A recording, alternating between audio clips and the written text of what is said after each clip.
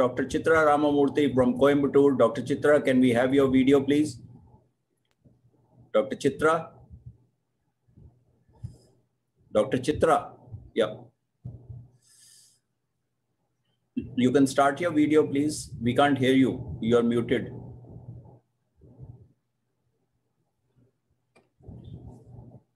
So a very good evening to one and all of you friends.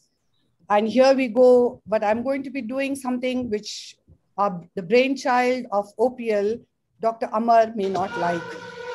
So how was it? I had to do it right. There was no way I was going to right. But let me tell you, my exploits with IOL placement just did not have glued IOL in it. So that meant that I had to be really careful. Was I doing the right thing? Did I need to plan better? It was massive confusion in my mind. This was a young guy who had been an affair for quite some time. His visual axis was not clear. So I thought I needed to take care of him. But there was no glue down here, friends. I went in with my vitrectomy, created my side ports, and decided to first clear the visual axis and cut the, the cortical remnants. The rhexis was not too adequate. It was there, three-fourths of it. Do I remove that secondary cataract there or do I leave it? The eye been quiet for so long. So I decided that was I going to do something stable or was I going to be doing something quite unstable? But nowhere was I going to go after that secondary cataract. And since the rhexis was there on more than three-fourths of it, so I injected the viscoelastic, enlarged uh, incision, and there was no trepidation in my mind. I was so sure that I was doing the right thing, and I implanted the three-piece IOL on the area of the secondary opacification overlying the rhexis. And lo behold, everything was fine. Do I, do I just leave it like that? Or do I put together this, this large sector iridectomy which was there? Friends, here again, I didn't do that uh, single pass four-throw pupilloplasty.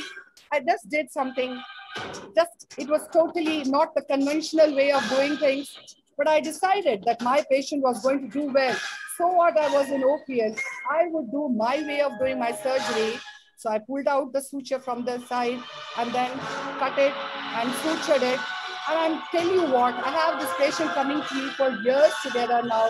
He's doing absolutely well, friends. There you see the two pillars of the iris are sutured. It's a well-centered IOL. I think I could take a short break. I think I could go rest into my comforts of my home before I contemplate my second surgery. Built in with a lot more confidence after my first adventures.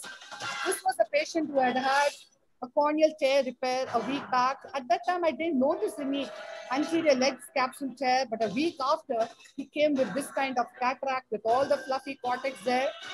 So then I wasn't sure about the integrity of the posterior capsule, but went in with great confidence, gently and slowly removed and teased out all the cortex.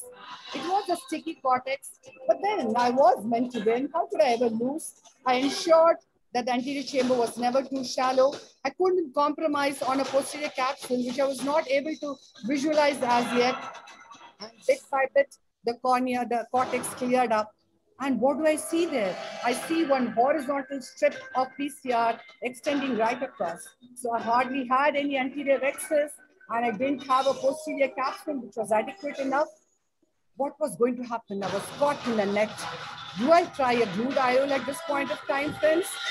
No, I would do a vitrectomy, of course, and that should take care of it. And friends, I do so believe in a retrofixated IOL, and there it goes. I had placed the retrofixated IOL. The cornea was fine, the direction was clear, the IOL in place. Am I in the net? Or am I out of the net? Would I be called for the next OPL friends? I really don't know, but I wish I saved my team. Thank you.